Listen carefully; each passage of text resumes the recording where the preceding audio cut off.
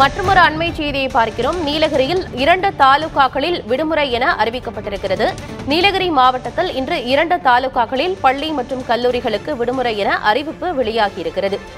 உதகை மற்றும் கூடலூரில் பள்ளி கல்லூரிகளுக்கு விடுமுறை என அறிவிக்கப்பட்டுள்ளது. அண்மை செய்தியாக பார்க்கிறோம். ஏற்கனவே கனமழை காரணமாக விழுப்புரம் கள்ளக்குறிச்சி திருவண்ணாமலை உள்ளிட்ட ஐந்து மாவட்டங்களில் பள்ளி கல்லூரிகளுக்கு விடுமுறை என அறிவிக்கப்பட்டிருக்கிறது. திருப்பத்தூர் போன்ற ஐந்து மாவட்டங்களில் பள்ளிகளுக்கு மட்டும் விடுமுறை என அறிவிக்கப்பட்டிருந்தது. அதன் தொடர்ச்சியாக தற்போது நீலகிரியில் இரண்டு தாலுகாக்களில் உள்ள பள்ளி மற்றும் கல்லூரிகளுக்கு மட்டும் விடுமுறை அறிவிப்பு வெளியாகியிருக்கிறது.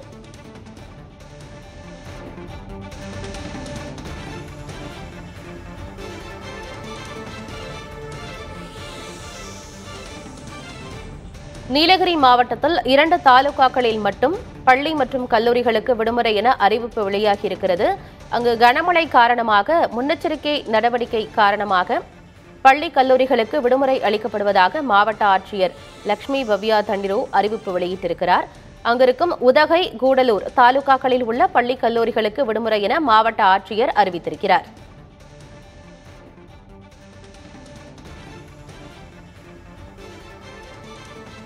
கனமழை காரணமாக பல்வேறு மாவட்டங்களில் பள்ளி கல்லூரிகளுக்கு விடுமுறை என்கிற அறிவிப்பு வெளியாகி வருகிறது.